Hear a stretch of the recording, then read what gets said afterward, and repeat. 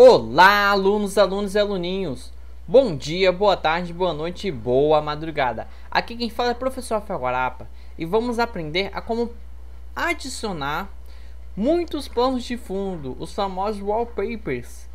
E como que a gente vai fazer isso? Primeiro, vamos observar um detalhe. Já aprendemos que clicar o botão direito, alterar plano de fundo, a gente pode personalizar a nossa área de trabalho. Por exemplo, se eu escolher esse plano, de, esse plano de fundo, também conhecido como papel de parede, ele muda totalmente o estilo da minha área de trabalho. Consequentemente, muda o estilo do seu computador, pois a área de trabalho é a área mais utilizada do seu computador. Então, você personalizando essa aparência, ele vai ficando de, de uma forma diferente. Normalmente, quem usa um plano de fundo, às vezes por um, um determinado período, ele quer trocar por outro. E aqui temos várias opções. Essas opções é um pacote referente à versão que eu estou usando, que é atualmente a 14.04 do Ubuntu. Isso quer dizer que quando o Ubuntu vai lançando novas versões, cada nova versão e cada versão que já passou, ele tem um pacote de planos de fundo. Resumindo, o Ubuntu tem muitos planos de fundo. E para que você tenha todos esses planos de fundo, você tem que ativar eles. Como que a gente faz isso? A gente vai entrar na central de programas Ubuntu e vai adicionar, beleza? Eu vou fechar aqui, vou apertar o botão iniciar e vou escrever central e já aparece central de programas do Ubuntu. Na central de programas Ubuntu, eu vou pesquisar aqui à direita, ó, já está carregando, né, todos os programas, beleza. Aqui à direita, eu vou escrever Ubuntu traço wallpaper. Beleza. E olha só, apareceu vários pacotes. Esse pacote aqui que se chama Ubuntu Wallpaper, você vai clicar nele e mais informações. Beleza. Esse símbolo que tem nele quer dizer o que? Que ele está instalado. Mas se você observar, ele está marcado aqui é essa opção, 3.10. E se você quiser adicionar mais pacotes, né, mais planos de fundo, extensões opcionais, você deve marcar. Isso vai deixar sua máquina mais lenta, vai pesar? Não, até porque os planos de fundo é um arquivo pequeno, pode ocupar aí 2 MB, 4 MB, 8 MB. Então somando todos eles não vai ocupar tanto espaço assim.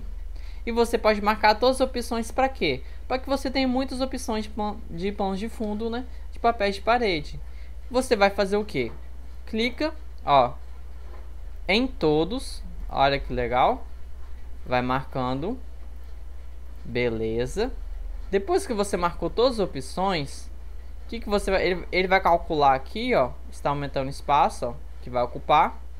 Observe que o espaço que vai ocupar é bem é mínimo, ó, tá vendo? E o que, que você vai fazer?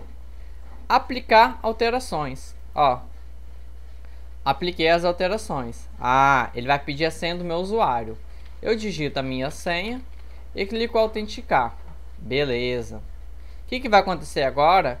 Ele vai baixar esses pacotes. Cada pacote desse, de cada versão do Ubuntu, ele tem vários planos de fundo. Então aqui vai vir vários planos de fundo. No 12.10 vai vir outros planos de fundo.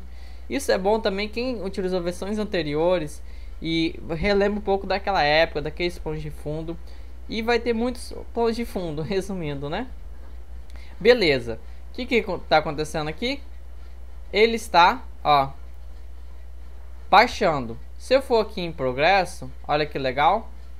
Ele vai baixar aqui, ó, 24,8 mega e tá está baixando, ó. Beleza. Enquanto ele vai baixando, eu vou ensinar outra coisa bem legal no Ubuntu. Você já deve ter se perguntado, no seu computador aí, esses planos de fundo que tem nele, onde que fica a pasta dele? Vamos descobrir? O que, que eu vou fazer? Você vai abrir aí sua pasta e aqui à esquerda você tem né, a pasta pessoal, várias pastas, você tem a pasta chamada computador, né? Que tem todos os arquivos aí do seu computador Inclusive, essas pastas aqui de cima está dentro do computador. E o que, que eu vou fazer? Eu vou procurar uma pasta que se chama, que começa com a letra U.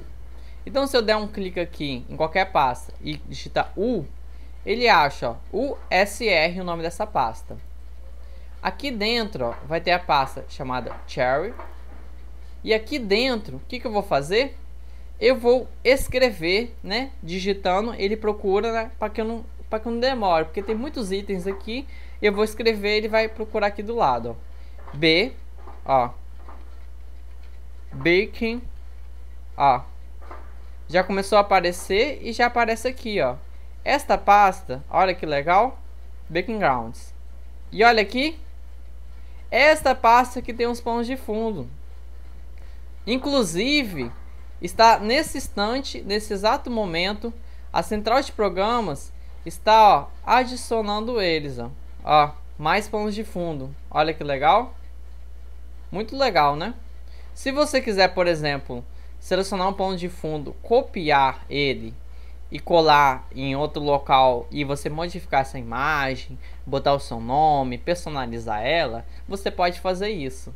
Então você aprendeu que na pasta computador, USR, Cherry e aqui dentro você escreve Baking Grounds, você ó, encontra todos os planos de fundo do seu computador. Ó, olha que legal. Olha agora a quantidade que está maior. Até porque, se eu for aqui, ó, botão direito, alterar plano de fundo, olha só, olha como aumentou a lista, ó, olha quantos planos de fundo eu tenho para personalizar. Agora eu tenho mais opções de planos de fundo, olha que legal. Olha quantos planos de fundos legais você pode escolher.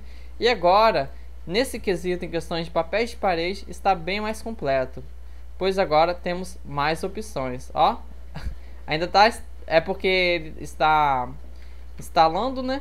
Ó. Ah, terminou. Deixa eu ver aqui, terminou, beleza. Ele está carregando, ó, carregou todos. E olha a quantidade que você tem agora. Vamos ver algum novo que não tinha? Por exemplo, tem essa paisagem. Olha.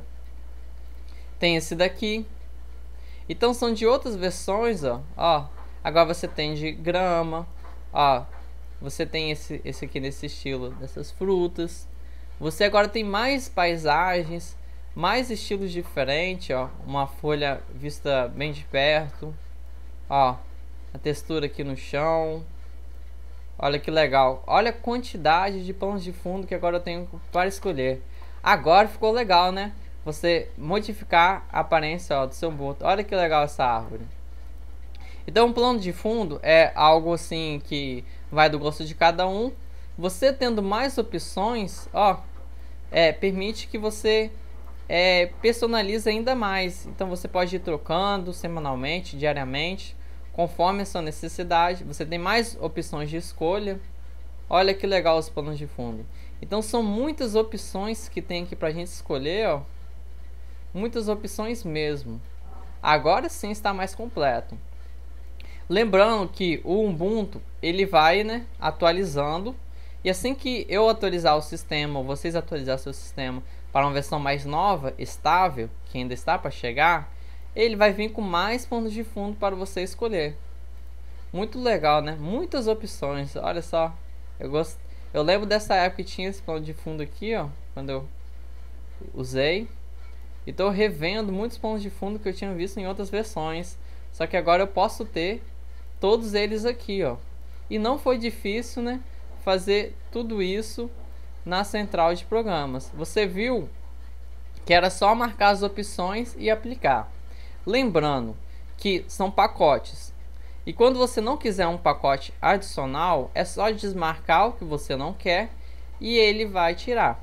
E aqui na sua pasta você tem todos eles para visualizar. Se eu clicar aqui duas vezes, ó, ele vai abrir bota aqui maior. E você pode também ver por aqui, ó, rapidamente, todos os planos de fundo. Muito legal, né? Então vou passando entre é, todos eles, ó. que ele é bem engraçado. E agora é só você se divertir aí, personalizando o seu sistema.